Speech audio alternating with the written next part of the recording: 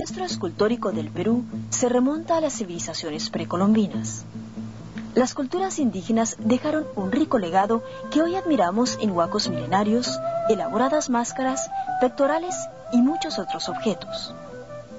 Con la colonización europea se introdujo al Perú la pintura sobre tela y el componente escultórico aborigen y autóctono fue relegado a un segundo lugar. Con el propósito de rescatar los valores escultóricos innatos al Perú, la Universidad Católica de Lima inauguró en 1965 su taller de escultura. Bajo la dirección de la italiana Ana Macaño, jóvenes peruanos se preparan para asumir la responsabilidad de ser los valores consagrados en la alborada del tercer milenio. ¿Tiene el arte latinoamericano y el peruano en particular una identidad propia?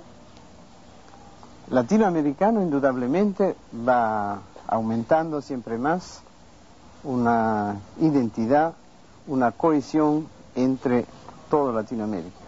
El peruano diría que hay exponentes con nombre y apellido que tienen una identidad y que no podrían ser otra cosa que peruano.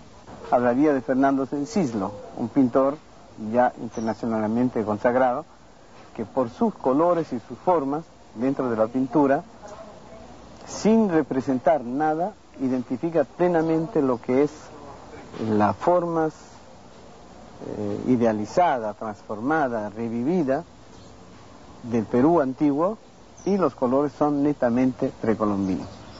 Ahí siento yo una identidad y una fuerza que puede representar de veras el Perú. ¿Cómo influyen las tradiciones y el legado de las civilizaciones andinas en el arte peruano de hoy? Hay una influencia indudable, porque yo creo que por cuanto el arte tenga una esencia universal, los ancestres trabajan como raíces.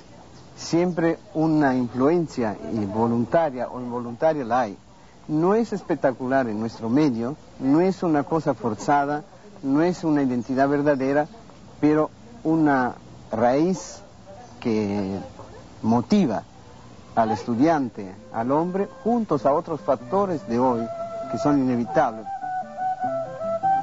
Soy Marejuela, acabo de terminar escultura en la Universidad Católica en Lima, Perú. Esta escultura este, en madera me tomó siete meses de trabajo y eh, yo sé tres personajes que son María Magdalena, María, y este, bueno, vendría a ser Cristo, pero es un Cristo que puede ser todo el mundo, ¿no? Por eso es el espejo.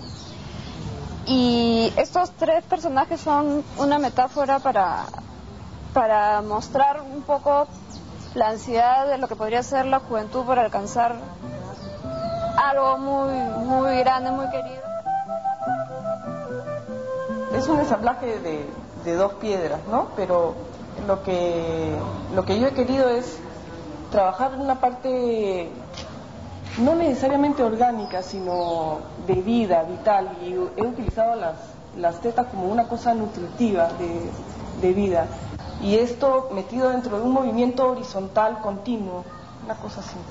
Y está de hecho relacionado con, con lo que vivimos acá y con toda la violencia que puede existir acá, pero decir de alguna manera que lo que lo vital, la vida tiene que seguir existiendo de alguna manera, ¿no?